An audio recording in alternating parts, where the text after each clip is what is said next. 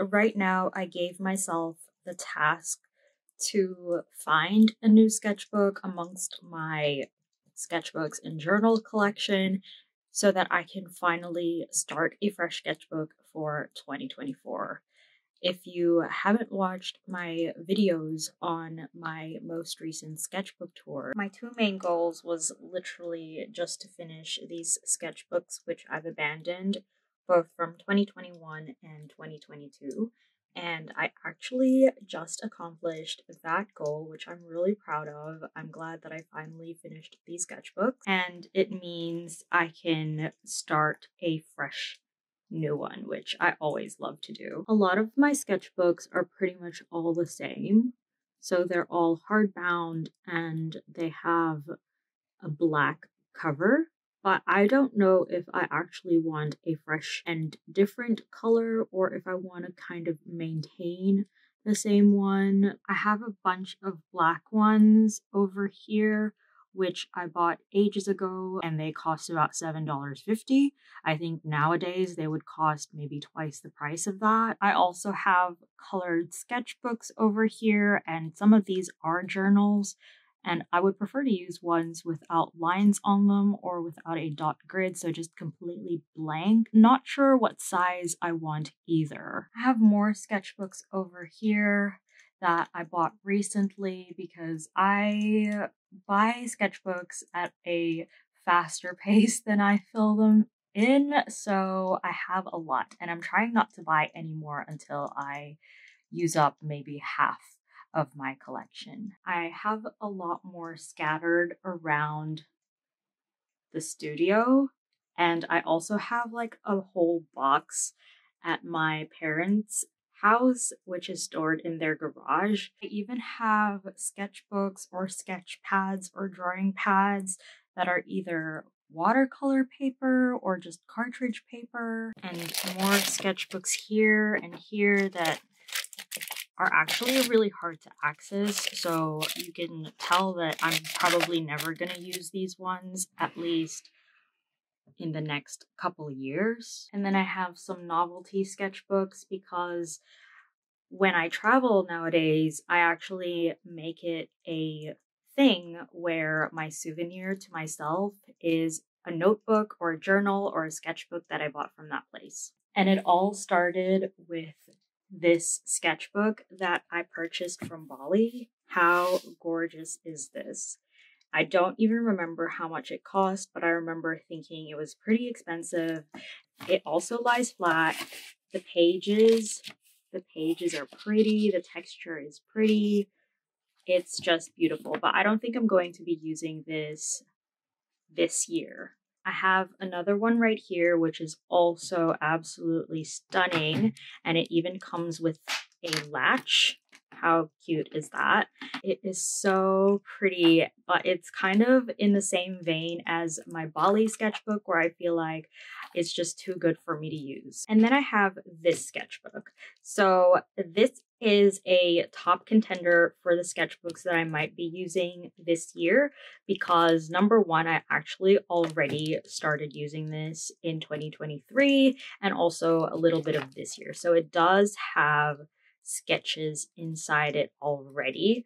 But the main reason why I'm thinking I might not use this is because it only really is good for pencil sketches and I'm thinking more of thicker paper so that I can potentially use gouache or watercolors. Part of me wants to just have one sketchbook so I can only have one focus instead of having multiple ones. Multiple sketchbooks never work for me. It I've tried it in the past and I work better if I just have one sketchbook where I basically dump everything in there. I'm also of the mindset where I just finished two unfinished sketchbooks and this would be a third one and I kind of just want a fresh new start where there aren't other sketches in it I don't know. I think that's just me being really nitpicky. So decisions, decisions. Oh, and this one I also kind of just wanted to share since I showed my Bali sketchbook. This is a sketchbook that I bought in South Korea. It is, I'm pretty sure, a calligraphy book because I bought it at a calligraphy shop. But how gorgeous is this? Just look at that cover. I don't think I'm, this is actually the front. I don't think I'm going to use this anytime soon. I think I will probably just admire this from afar.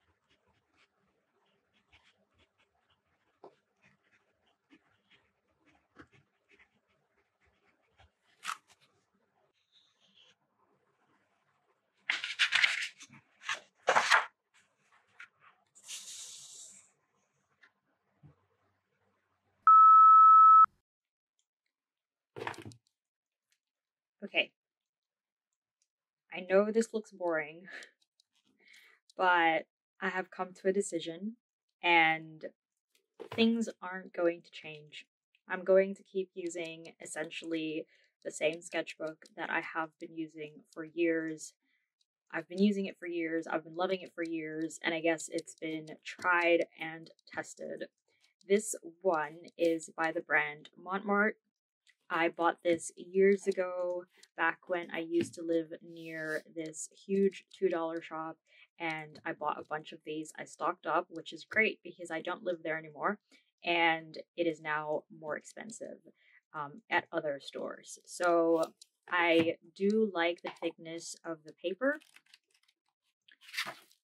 I love that it lays flat. And based on everything that I've stated with the other sketchbooks, I don't think I am keen to just stick to pencil drawings. I feel like I'm a little bit more ambitious at this moment, hoping to do more paintings with watercolors or gouache or with markers and trying to create drawings that aren't unfinished. So that's why I'm choosing this one. Hopefully, that motivation continues until I actually